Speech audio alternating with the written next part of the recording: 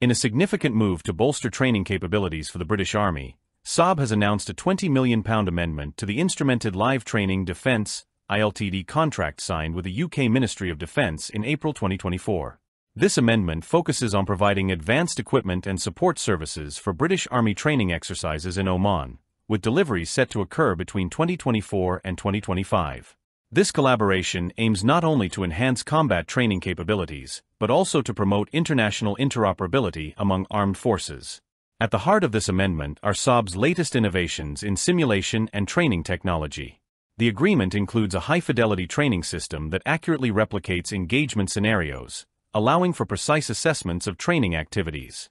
This level of detail enables comprehensive analysis of performance metrics, helping military personnel identify areas for improvement and refine their skills. The new solutions will seamlessly integrate with the Ministry of Defense's existing Tactical Engagement Simulation TES capabilities. This integration ensures continuity in training processes, allowing soldiers to transition smoothly between different training environments without losing valuable insights. Beyond the provision of cutting-edge equipment, Saab will deliver ongoing support services throughout the training cycle. This includes managing the exercise control EXCON environment, where data collected during training exercises will be utilized to objectively measure outcomes. This integrated approach is designed to maximize training efficiency, ensuring that personnel have access to the resources they need to achieve operational readiness. The renewed agreement between the British Army, the Royal Army of Oman, and Saab not only strengthens existing partnerships but also reflects a shared commitment to delivering high-quality training. As warfare methods continue to evolve, this collaboration aims to align training with the requirements of the Collective Training Transformation Program.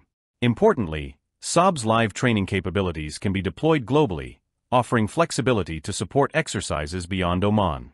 The equipment is designed to integrate with various systems that meet NATO standards, enhancing interoperability with international allies. This capability is crucial in an era where military forces must work together to address complex global security challenges. The amendment to the ILTD contract with Saab significantly enhances the British Army's training capabilities through advanced simulation technology and dedicated support for live training exercises in Oman.